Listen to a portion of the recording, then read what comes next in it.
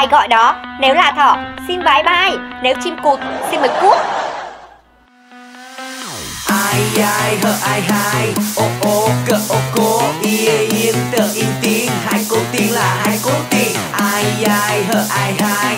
Ô ô cơ Hello, chào mừng tất cả các anh em đã quay trở lại với bản tin cô tiên. Mở đầu cho bản tin cô tiên ngày hôm nay sẽ là một tin vui với nền điện ảnh nước nhà Tại Liên hoan phim Phốt Nhà vừa qua, bộ phim Chúng sinh kỳ đã đạt giải bộ phim ấn tượng nhất mọi thời đại ở thể loại phim cả khịa. Nội dung của phim kể về việc 20 con chim cánh cụt từ vùng dịch tới nước ta để nghỉ mát. Nhưng đời đéo làm mơ, chim cánh cụt đi đúng dịp dịch bệnh đang bùng phát nên phải cách ly với thế giới bên ngoài.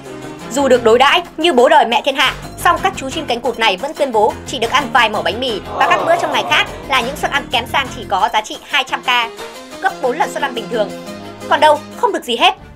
Ngay sau đó, phía nước ta đã có màn đáp trả đéo thể nào tuyệt vời hơn không hẹn mà gặp các siêu anh hùng từ khắp nơi như cư dân mạng, Dinzalit, hội anh em nhà bánh khả và đặc biệt là VTV đã xông pha vào trận chiến bật chế độ nhà thơ sáng tạo thi ca khẩu nghiệp nhằm bảo vệ niềm tự tôn của xứ Đông Lào.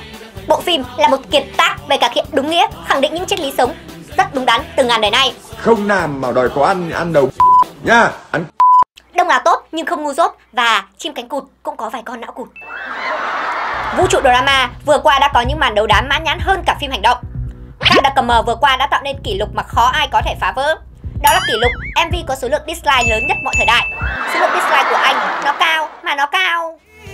cao hơn cả núi dài hơn cả sông rộng hơn cả đất xanh hơn cả trời Tuy nhiên, không có like vẫn không là vấn đề lớn, còn không có tiền mới là đáng trách.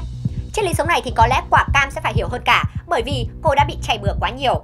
Với cô thì trứng rán cầm mỡ, bắp cầm bơ, yêu không cần cớ, cần tiền cơ.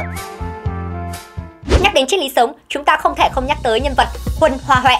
Anh được mệnh danh là chàng trai vàng trong làng nói đạo lý, nhưng kết cục của anh thật bất ngờ. Sau một thời gian đắn đo suy nghĩ, anh đã quyết định gia nhập câu lạc bộ Juventus cùng với người anh em Bánh Khả.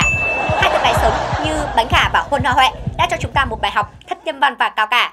Nhưng thằng nói đạo lý thường sống như như vậy, sau rất nhiều ngày được hóa thân thành công chúa ngủ thì cuối cùng học sinh sinh viên Việt Nam đã chính thức quay trở lại trường học.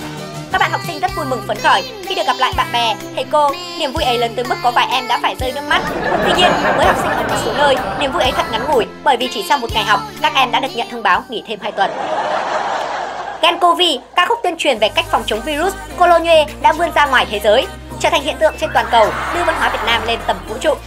Nhiều chuyên gia còn dự đoán ca khúc này sẽ là một ứng viên nặng ký cho lễ trao giải Grammy năm nay.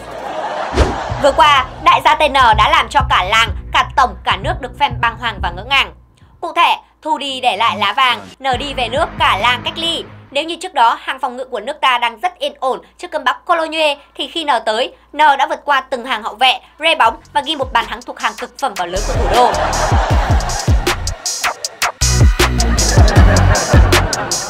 Nhờ chiến công của chị N mà số lượng người nhiễm và nghi nhiễm Cologne tại nước ta đã tăng lên một cách đáng kể. Các bà các mẹ tại khắp nơi đổ xô đi mua sắm như ong vỡ tổ. Có mẹ dự trữ hàng chục thùng mì, có bà mua hàng hàng tạ gạo, nhưng đéo thể hiểu nổi, mặt hàng hết nhanh nhất lại là ba cao sâu. Hy vọng rằng sau sự cố lần này thì chị N sẽ rút kinh nghiệm. Chơi bời thì có thể tung rời, nhưng nếu đã yếu thì đừng ra gió, kẻo anh em lại sấp mặt.